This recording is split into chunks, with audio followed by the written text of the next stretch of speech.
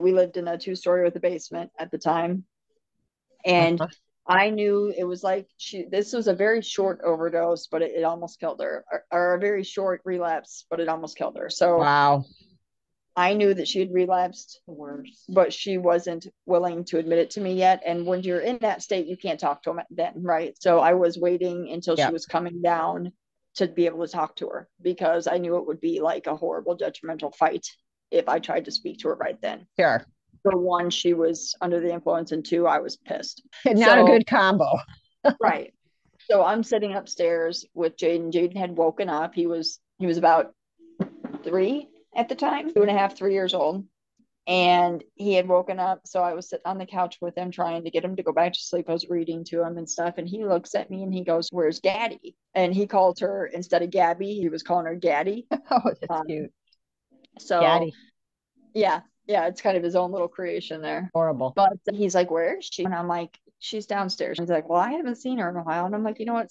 Speaking of that, you're right. We haven't seen her in a while. You wait right here, and mommy's going to go just check on her and see how she's doing, but you stay upstairs. So I walk down the stairs and I don't see her. Like yeah. I walk around the basement, and the basement had like a bathroom, a laundry room, and then a little like office space room, and then one big open area.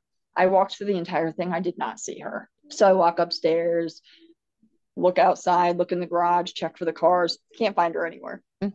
So I'm like, the car's here. She's not in the garage. So I'm thinking she left at this point. I'm getting pissed. But I decide, you know what? Okay, let's go check downstairs one more time. Well, this is happening. I think this is the part I was running through the forest.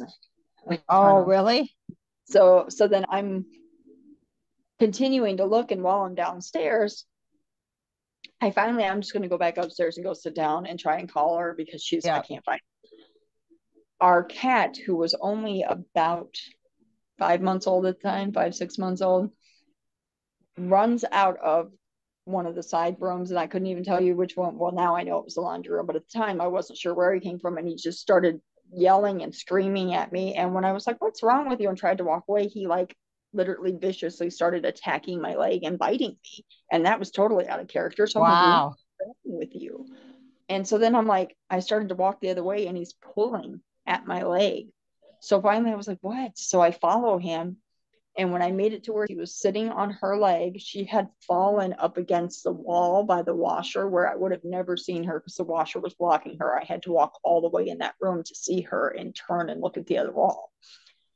Against the cement wall, like underneath, like the partially underneath the drain sink for the washer and that. Okay. Like in the corner, and she had hit the wall and oh, slid down. Laundry in she was yeah she was taking laundry from the washer to the dryer you but she kinda... had decided to use while she was doing it and i guess the bending up and down made her fall out i had just taken well yeah you, she took it and over it but you know the way you yeah. fell right so her legs were like folded behind her and she was up against that wall in a position i would have never seen her so the cat was on her legs screaming at me to come to her and he like he was screaming at the paramedics and everything when they got there too. And while I was doing the CPR, like I kept having to move him because he wanted to be right there to make sure she was okay.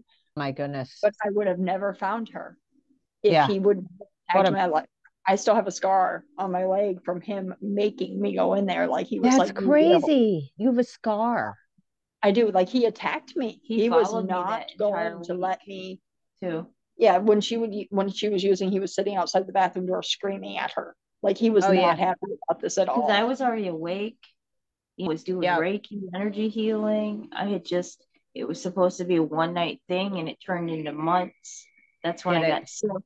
And then this was like a few months after I had gotten out of the hospital from being sick. I had a short relapse. It was like three days. Yeah. Three days. Yeah, it was not long at all. It was very yeah day three was when i found you it's understandable sick. it's understandable with just the intensity of your your background and then being in a relationship